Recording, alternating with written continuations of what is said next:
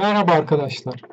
İktisada Giriş 1 dersinin tüketici ve üretici tercihlerinin temelleri adlı ünitesiyle ilgili bir soruyu yanıtlamak üzere birlikteyiz. Soruda yine tüketici dengesi fayda maksimizasyonu ile ilgili bir soru sorulmuş. Bunun için bir tabloda tüketicinin elma ve lahmacun gibi iki malı tüketmesi durumunda elde edeceği toplam faydalar verilmiştir. Bunlara ek olarak soruda elmanın tanesi 1 TL ve lahmacunun tanesi 2 TL ve Ali'nin geliri 9 TL ise yani malların fiyatları birim fiyatlarıyla tüketicinin geliri denilmiş. Ali aşağıdaki hangi miktarları tüketir demiş. Şimdi bunu belirleyebilmemiz için arkadaşlar hangi miktarları tüketeceğini iki şeye dikkat etmemiz gerekiyor. Bir, biz öyle bir mal bileşimi seçeceğiz ki Ali bütün gelirini harcasın. Yani 9 TL'ye harcasın. Mesela bu durumda örnek vereyim. Bir tane elma, bir tane de lahmacun tüketerek bu bizim sorumuzun doğru yanıtını veremez. Çünkü bir tane elma tükettiğinde 1 TL, bir lahmacun tükettiğinde lahmacunun fiyatı 2 TL, 3 TL'sini harcamış olur. Dolayısıyla 9 TL'lik birimin gelirinin tamamını harcamamış olur. Bu nedenle de bunu seçemeyiz. Buna göre bir de ikincisi de arkadaşlar bu 9 TL'ye harcaması yeterli değil.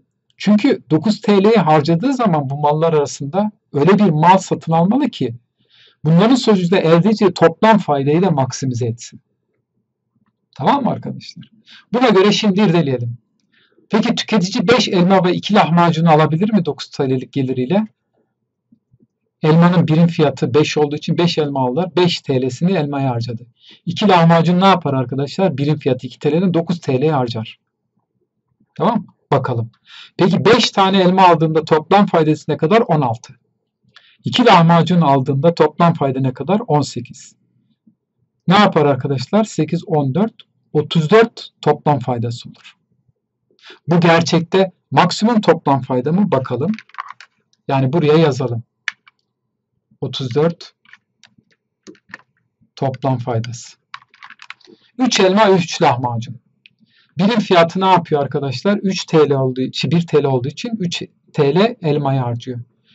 Lahmacunun birim fiyatı 2 TL olduğu için 6 doğruya harcadığından dolayı 9 TL harcıyor. Bu durumda arkadaşlar toplam faydası ne olur?